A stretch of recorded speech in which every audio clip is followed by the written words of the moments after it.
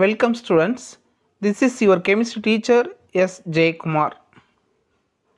Metallic nature. Some of the elements in periodic tables are having metallic nature. What is reason for metallic nature of the elements? Reason is electropositivity of the elements. Then what is electropositivity? The tendency of an element to form a cation by losing electron is known as electropositivity இங்கே இருக்க இந்த one eighteen எலமெண்ட்ஸில் மெட்டல்ஸும் இருக்குது நான் metals இருக்குது metals இருப்பதற்கான காரணம் என்ன? எந்த எலமெண்ட்ஸ் எல்லாம் எலக்ட்ரோ பாசிட்டிவ் நேச்சர் இருக்குதோ அந்த எலமெண்ட்ஸு மெட்டலாக இருக்கும். எந்த எலமெண்ட்ஸுக்கெல்லாம் எலக்ட்ரோ நெகட்டிவிட்டி கேரக்டர் இருக்குதோ அந்த எலமெண்ட்ஸு நான் மெட்டலாக இருக்கும். இந்த ரெண்டு நேச்சருமே இல்லாத எலமெண்ட்ஸு மெட்டலாய்ட்ஸாக இருக்கும். This is structure of aluminium. Aluminium is a metal. Why?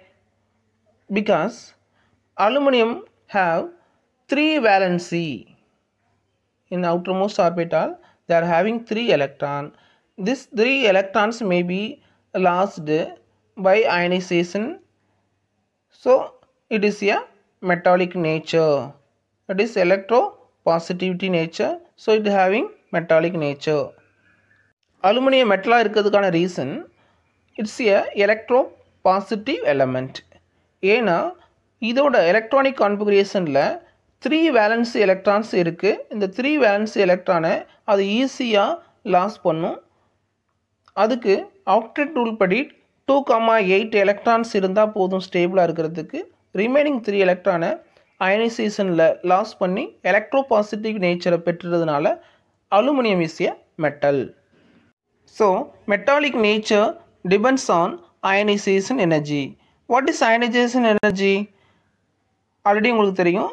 ஒரு ஆர்பிட்டில் அவுட்டர் மோஸ்ட் எலக்ட்ரானை ரிமூவ் பண்ணுறதுக்கு நாம் கொடுக்கக்கூடிய எனர்ஜியை நம்ம அயனைசேஷன் எனர்ஜின்னு சொல்கிறோம் so energy recover to remove one electron from outermost orbital is called ionisation energy in a குரூப்பில் ionisation energy decreases hence the metallic character increases குரூப்பில் நம்ம பார்க்கும்போது மேலேருந்து கீழே வரும்போது அயனைசேஷன் எனர்ஜி டிக்ரீஸ் ஆகிட்டே வரும். அதே போல் குரூப்பில் மெட்டாலிக் கேரக்டர் இன்க்ரீஸ் ஆகிட்டே வரும். ஏன் இந்த மாதிரி அயனைசேஷன் எனர்ஜி டிக்ரீஸ் ஆகுனா மெட்டாலிக் கேரக்டர் இன்க்ரீஸ் ஆகுது. இந்த குரூப்பில் மேலேருந்து கீழே வரும்போது எலிமெண்ட்ஸோட அட்டாமிக் சைஸ் வந்து இன்க்ரீஸ் ஆகுது. அட்டாமிக் சைஸ் இன்க்ரீஸ் ஆகுனாவே அயனைசேஷன் எனர்ஜி டிக்ரீஸ் ஆகும் அப்படிங்கிறது உங்களுக்கு தெரியும். ஏன்னா மிடில் பார்ட்டில் இருக்கக்கூடிய அந்த எஃபெக்டிவ் நியூக்ளியர் சார்ஜுக்கும் அவுட்டர் மோஸ்ட் ஆர்பிட்டில் இருக்கக்கூடிய எலக்ட்ரானுக்கும் இடையே உள்ள டிஸ்டன்ஸ் வந்து இன்க்ரீஸ் ஆகுது. டிஸ்டன்ஸ் இன்க்ரீஸ் ஆக ஆக அதில் அயனைசேஷன் எனர்ஜி வந்து டிக்ரீஸ் ஆகும். ஏன்னா அது லாஸ்ட் ஆர்பிட்டில் இருக்கக்கூடிய எலக்ட்ரானை நம்ம ஈஸியாக ரிமூவ் பண்ணிடலாம்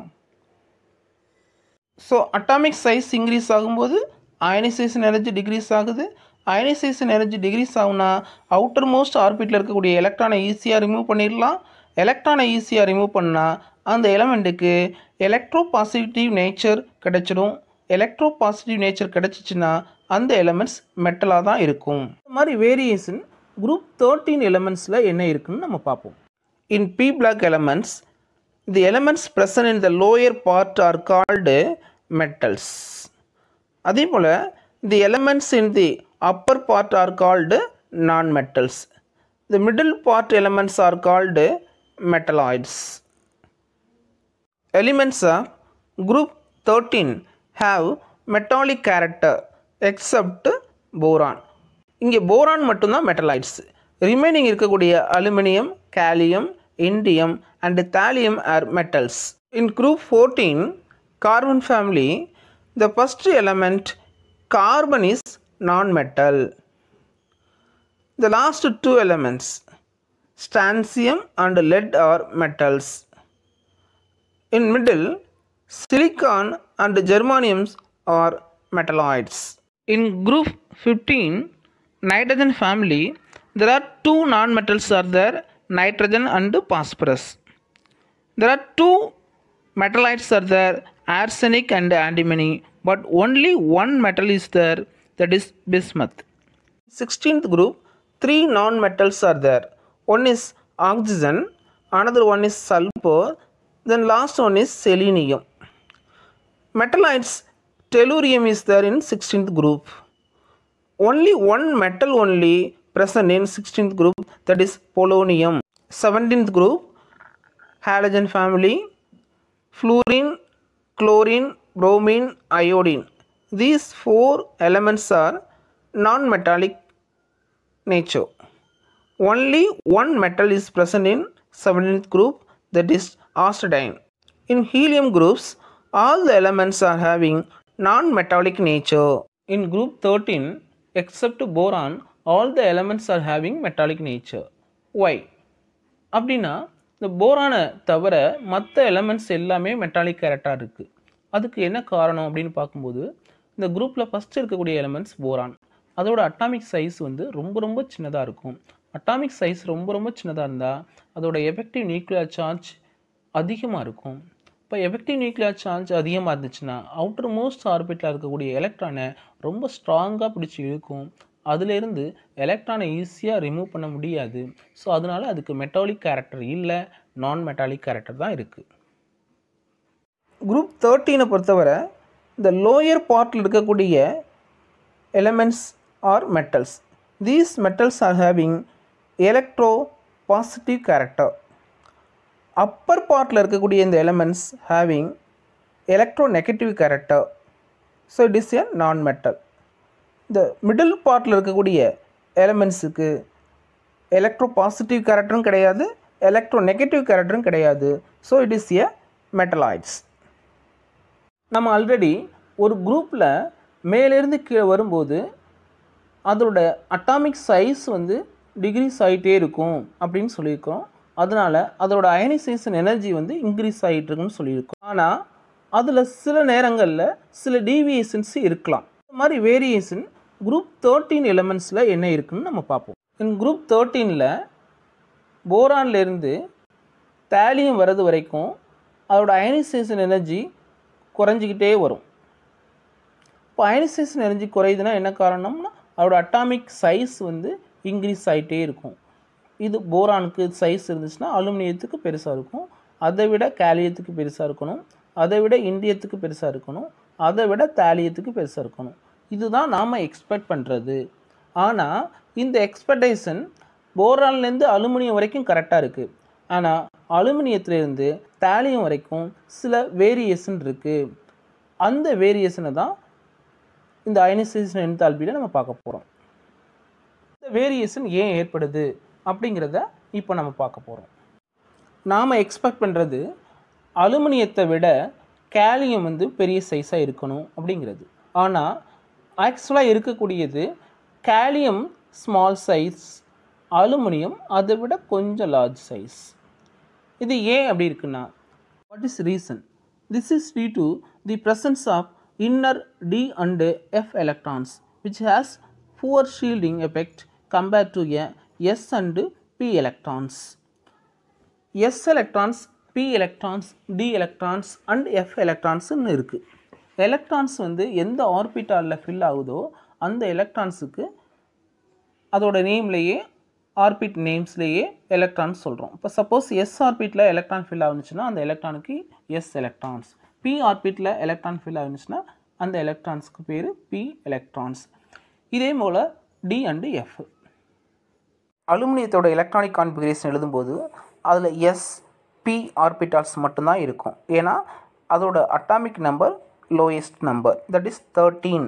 but gallium indium thallium இதோட எலக்ட்ரானிக் கான்ஃபிகரேஷன் எழுதும்போது அதில் D orbitals and F orbitals வரும். ஏன்னா இதோட ஹையஸ்ட் அட்டாமிக் நம்பர் அலுமினியத்தில் எஸ்ஸும் பி ஆர்பிட்டால் எலக்ட்ரான்ஸ் தான் இருக்குது அதனுடைய ஷீல்டிங் எஃபெக்டை கம்பேர் பண்ணும்போது கேலியத்திலிருந்து இண்டியம் வரைக்கும் இருக்கக்கூடிய டி அண்டு எஃப் எலக்ட்ரான்ஸோட ஷீல்டிங் எஃபெக்ட் ரொம்ப ரொம்ப லோவாக இருக்குது that is poor shielding effect shielding எஃபெக்ட்னா என்ன?